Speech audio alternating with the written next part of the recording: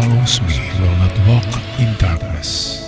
Magandang buhay mga katiyats, brothers and sisters, and Treasure Hunting. Kumusta kayo ngayon? Ang ating episode ay tungkol sa mga marker na ito at uh, sa marker na merong punong kawayan ng bang mga kahulugan mga ito. At niyan tatalakayin maya-maya pagkatapos lamang nating mag-shoutout. Alright, ako'y mag-shoutout kina Dambao Elvin Famaran, dating Nalimansalay, user FK3, Madan Canonigo, Boss John TV, kay Dariel De Leon, shoutout din kay uh, Jero Mendoza, Angelito Capistrano, make that Angelito Istano, Rogelio Cortez, Jerome Fowler, Janice Carbonilla, user JB5. Also shout out kay Gwen Hana Lumaino Angelito Capistrano, Morph Gasita, Dons TH Bukidnon, Willie Kagula, adapted song ng Tagig, uh, Lito Taburada, and lastly shout out kina Joseph Prada and Iman Moises at sa mga hindi nabanggit na pangalan, shout out sa lahat. Tayo na ngayon magpatuloy. Okay mga katiyats, narito ang video na padala sa atin ni Katiyats at meron siyang nakitang magandang marker ng Yamashita Treasures. Atin pakinggan si Katiyats. Okay, sa creek. Distance, mga 2 meters. 2 meters. Oh. Creek, Old Kawayan. Dayon, ato ni siyang sukaon. Mo ni siya, magpataw. Ang makita na ako dili. Makita dili. Na itong makita dili nga bato. Dua ka bato. Subangan sa adlaw. Tuwa dito ang subang sa adlaw. Or o kabalo ng east or west kung sa na sa dira. Sa kay diya dapit sa adlaw. Nara. Mao ni siya nga bato. Kani siya nga bato, maura po ni siya nga way nakakuan kaning duha. Duha sila kabuok. Tuwing isa o nakaduol kay sa punuan sa mga kawayan, old kawayan. Kibali isa rin siya ka bunga, dili ingon siya nga triangle. Pero old yun siya. Ganun mga patay na gali na siya. Kuha niya to dito, ti tapok. Pero mo ni siya nga bato may nakalain. Kini siya nga bato, uro siya magka-triangle. Ano yung ilalong po? Oo po siya ibang Kita ang barato niyo. Umukon siya nga bato. Umukon. Kini siya nga bato. Mo ni siya kani. Siya ni siya kapuga. Kanira sila mo inalain diri. Kapuga, kapuga. Kita na to. Dayon sa unahan po, na po ni isa. Simba gyapon ni isa, apuga gyapon. Yung tulis. Ano sa ating. Hmm. Kita na to na. Hmm. Talinis kayo. Talinis o volunteer kung sa lapani. Kung sa treasure hunter. Kita nga mga kanan yung patabang nagta sa mga nanay experience o nanay kikoy kay balo. Kani sila duha. Dako-dako ini.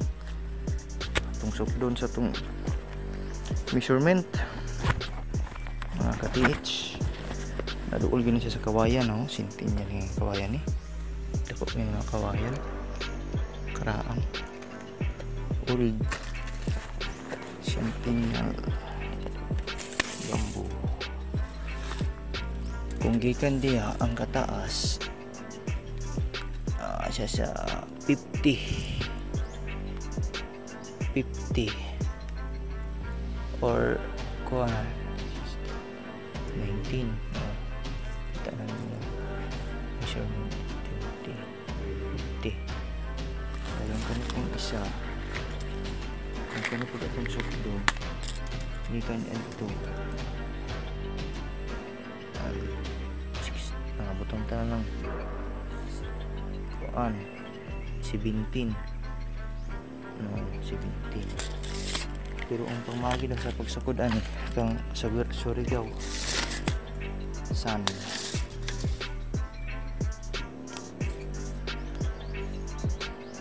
Richard ambong ang ka-DH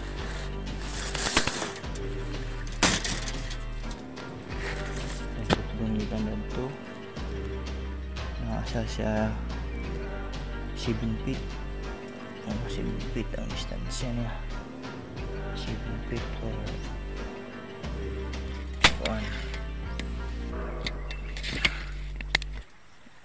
7 feet kura ba itong dikan or ato na lang isintro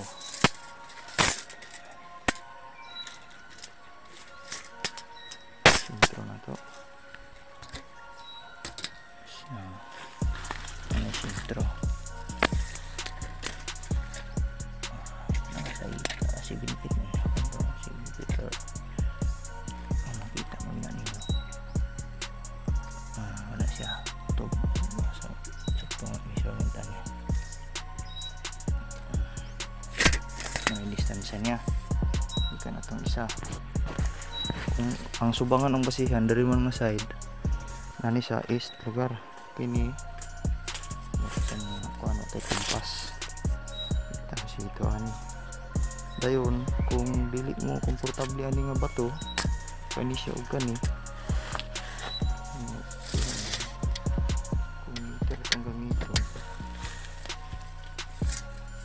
ah, dili po siya magkuhan og ko yun siguro ah, kung sa meters. Kita ikan dia ah, 2 meters. Ikan dito palong diri 2 meters. Ah, 2 2 meters. Okay mga katiyats, unahin muna natin itong bato na malapit sa sinasabi ni katiyats ng mga old bamboo. Okay, so ano nga bang hugis nito? Ah, parang ah, triangle nga siya. At merong tulis. Pwede rin siyang heart.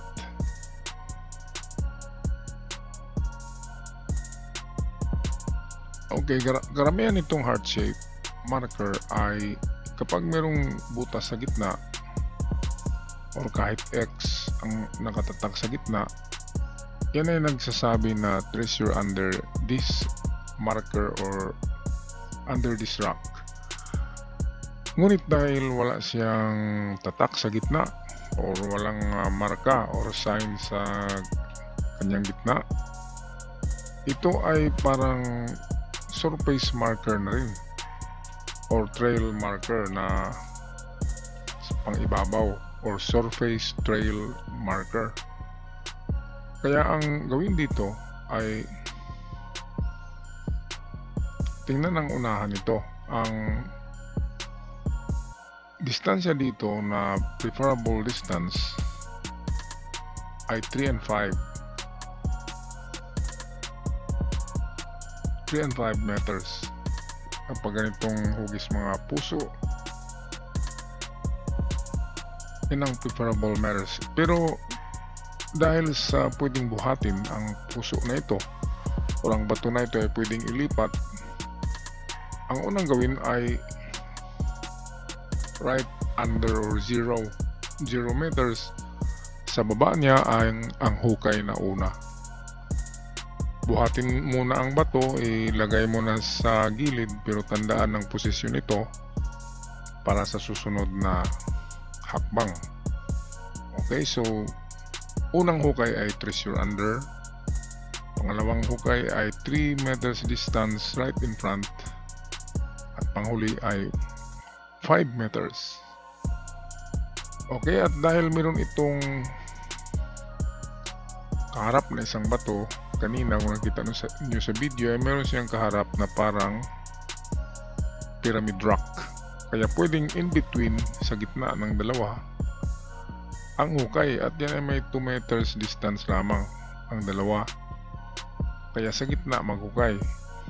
Ibig sabihin yan ay maliit lamang na na ah, itong treasure box kasi ang pagitan ng dalawang bato ay 2 meters lamang. So ang ibinaon ay siguro ammunition boxes. So itong pangalawang pag-analyze natin in between the heart-shaped rock and the pyramid rock at ang bamboo ay narito sa likod ng heart. Okay, so yan ang aking paraan sa paghanap din mga katiyats. Dito naman, ito yung busog na palaka. Ayan, napansin nyo, ito yung puwitan niya, ang laki ng tiyan. Busog na busog. At paano nga ba hanapin ng item sa palaka? Ito yung nakanganga, so may ibig sabihin din yan. Pero ang pinakauna dito, dahil sa siya busog na palaka at bilog buntis, ibig sabihin ay mayroong something dito, itong malusog na tiyan niya. So, unang tingin ka agad dito, unang paraan sa paghanap is treasure inside this rock sa kanyang tiyan. So dahil hindi malaking bato yan, pwedeng yan ay naglalaman lamang ng mga precious stones kagaya ng mga diamonds or dalawang barita lamang or even jewelries. Kaya ang una ay ang tiyan. Kanina nakita ko na hinukay nila ang gilid nito sa may banda rito. Siyempre ang liit naman ng hukay kaya hindi tamaan. Kaya lakihan nyo yan mga katiyats. Kasi pwede na nangitlog lang itong palaka. At kapag ito'y nangitlog sa bandang puwetan niya, ang hukay. Okay, at magandang marker ang palaka kasi ang palaka ay isa sa mga sagradong creature sa Japanese mythology. Kasama yan sa mga pawikan na sagrado sa kanila. Kaya nga sa Chinese culture at Japanese ang palaka ay nagdadala ng swerte. Okay, so nakanganga. Kapag nakanganga ang turtle at ang palaka, ang treasure ay malapit na lamang hindi katulad sa ahas kapag nakanganga ang ulo ng ahas na bato, ibig sabihin there is a danger. Dito naman sa palaka at pagong, kapag nakanganga sila, ibig sabihin malapit na sa kanila ang pagkain. Ang pagkain yan ang item.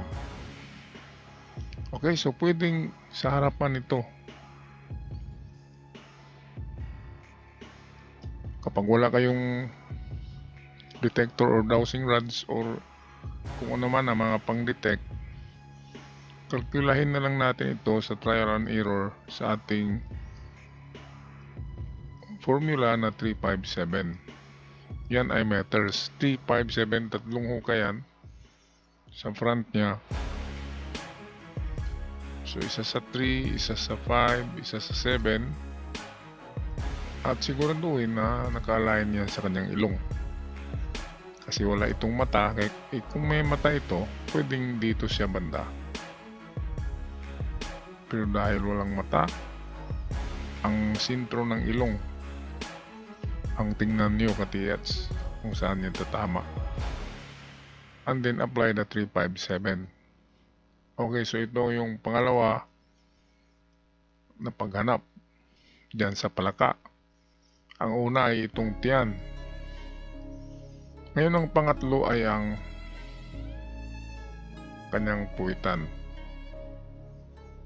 Okay, dumidistansya lamang kayo ng distansya lamang ng 1 meter galing sa puwit at doon magtestig para hindi mahulog ang bato. Kasi kung dito kayo maghukay sa kanyang puwitan mismo, ang tendency gugulong ang bato doon sa inyong hukay. Ang bato na ito. Kaya ano pa bang paraan na pwede dyan? Pwede rin treasure under sa kanyang tiyan. Igulong lang ang bato at hukayin ang tiyan nito sa bandang tiyan na lupa. Kasi pwede rin treasure under the rock. Ang ganitong sign kasi masyadong mabilog siya. Ang mga bilog na symbol, yan ay nagsasabi na treasure under or metal element under. Okay mga katiyats, so yan ang aking pag-analyze sa treasure. O by the way, kung kaharap ito sa creek, kasi siya, na, siya ay am, amphibian, nakatira yan sa tubig. So, ibig sabihin, ang item ay in between sa creek at sa kanya. So, kung ito yung creek, sa kalagitnaan ng creek at ng palaka, alayin lang ninyo ang kanyang ilong na nakaturo sa creek and kunin ang gitna at doon mag-test dig. Okay? So yan lang mga katiyats. Maraming salamat at uh, magandang buhay sa lahat. Paalam na. God bless you all.